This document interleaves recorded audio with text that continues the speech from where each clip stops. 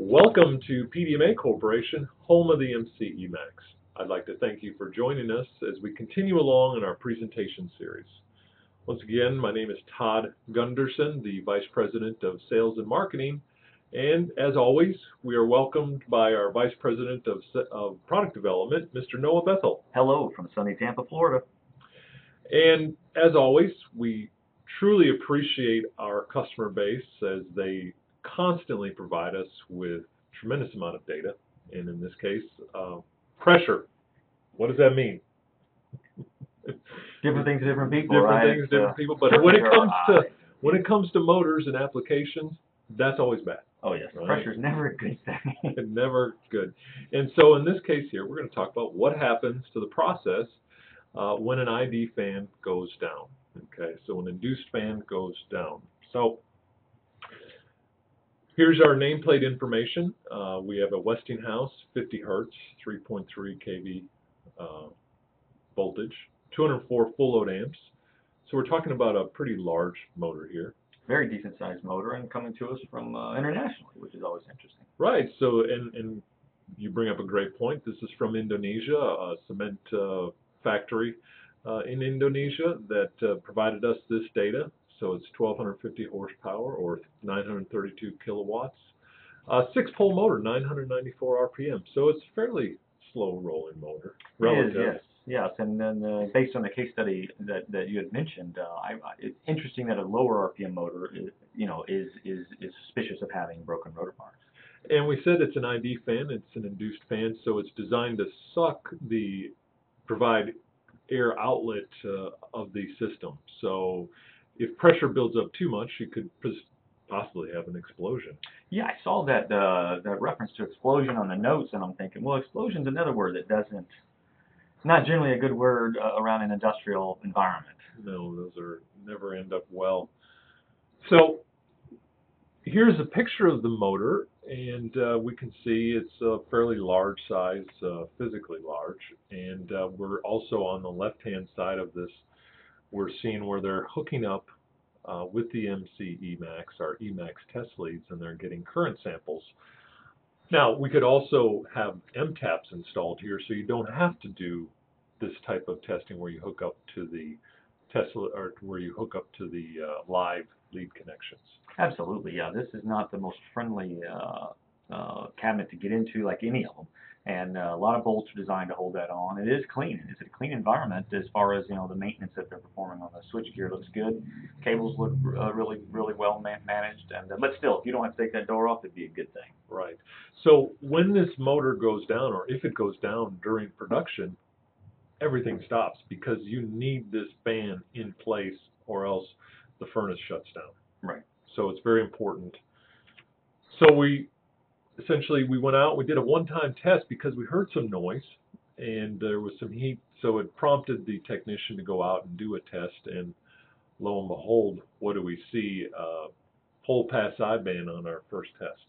Yeah, and that's uh, and, and and you know you look, it's above the caution line. This is an, a relatively elevated pole pass frequency, and uh, you hate to see that on the first test. especially with a motor that was recently installed. Probably what two? They said February of 2014, so uh, uh, relatively less than a year maybe in service. Yeah, that's short term, and ideally this would be more of a second or third test in that situation. Ideally, it would be.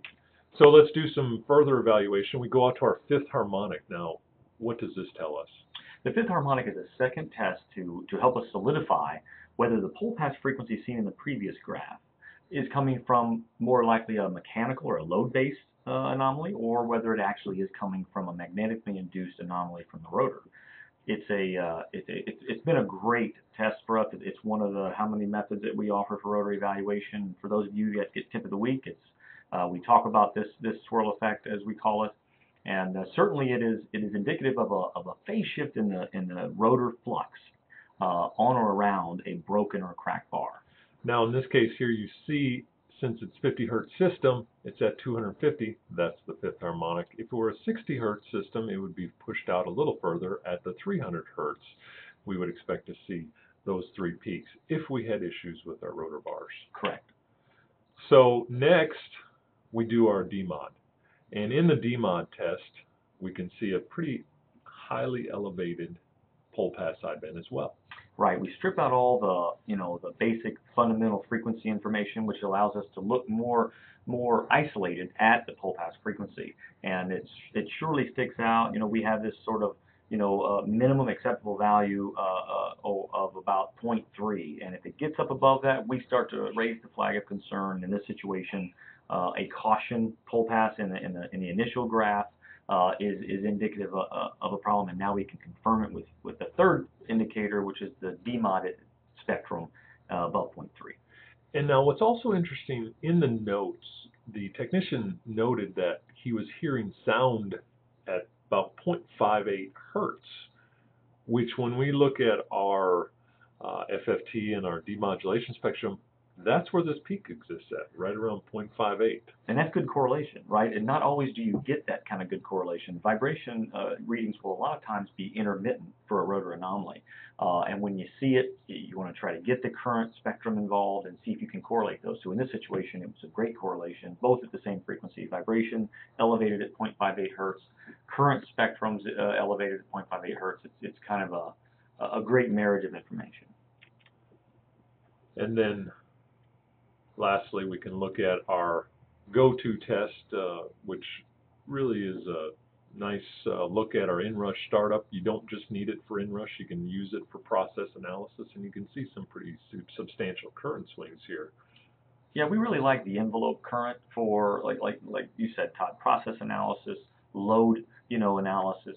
Uh, and in this situation, when you're talking about a fan, right, you wouldn't expect a lot of variation unless the load is driving it. So you do have to know the load a little bit. But in this situation, we're looking at about what appears to be 10% of full load uh, amperage swings, and that's just not something you'd expect from an ID fan.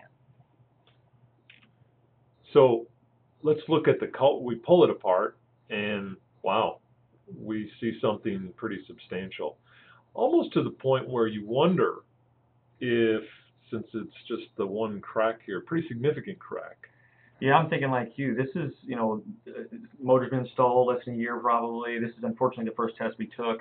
It's hard for me to look at that crack and think that it hasn't been around for a while. And then, of course, you see the burning lamination tips at the open slot, and all that leads to a, a big concern that, that this has been running like this for a while.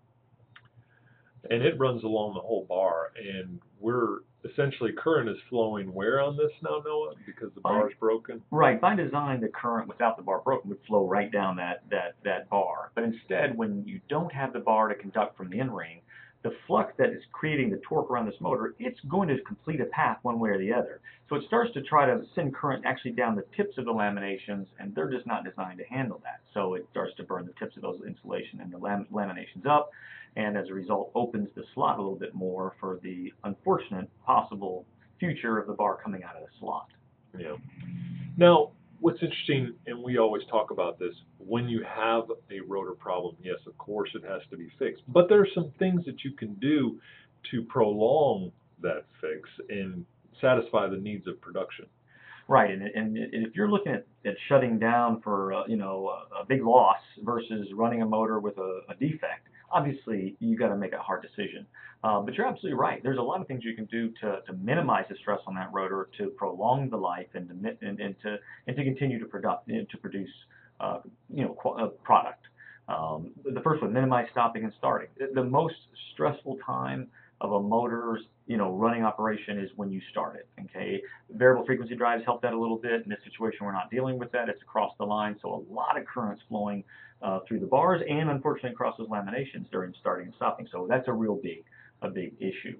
Uh, minimizing load fluctuations. Uh, this is a lot of times up to an operational uh, requirement. If operations can steady state this, knowing that there's a rotor defect, it's going to uh, reduce the amount of, of, of, fluctuating currents, which are going to an increase and decrease of slip on the motor, which is of course going to cause more current to flow down the broken bar. Um, increasing the monitoring frequency. Obviously, if you know there's a problem, let's make sure it's not going vertical. And so you, you increase the monitoring frequency to trend this uh, more often to make sure that you're, you can stop something before it goes catastrophic.